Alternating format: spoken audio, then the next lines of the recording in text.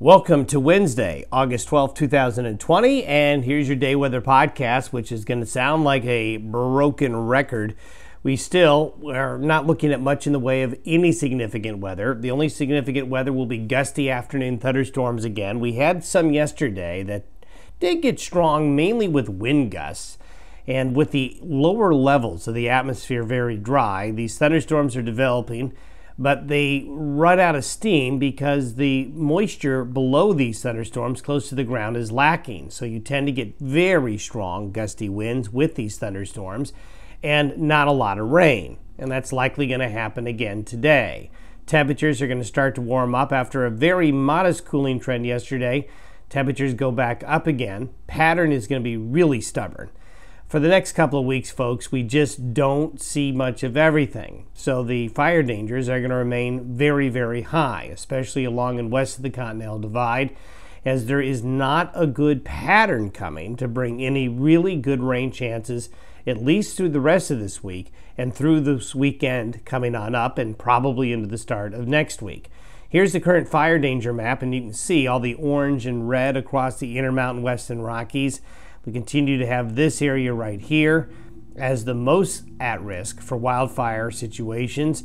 Uh, Got to be extremely careful. The next two weeks are really, really important because the next two weeks we're probably going to have what we call dry lightning, thunderstorms that produce lightning and wind but little rain, and that could start fires. And uh, of course, human started fires are much more common than naturally started ones, so be careful out there. As we take a look at the next four and a half days here of precipitation chances, you can see there's some gray and there's some green out there. There's going to be a little bit of shower and thunderstorm activity, but these amounts of rain, with the exception of some heavier thunderstorms up here, are very, very paltry, and these are probably, well, over forecasted. We're just not going to see much between now and through the weekend other than these gusty late day showers and thunderstorms.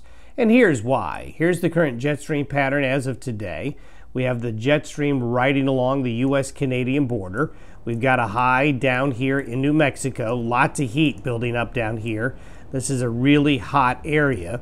And right now, the flow of moisture from Mexico is taking a long route this way, and there's just very little moisture in here to be brought up. Now, in a normal, well, let's say an average mid August situation, you'd still have a lot of subtropical moisture or monsoon moisture available here to be drawn in, but we just don't have it this year.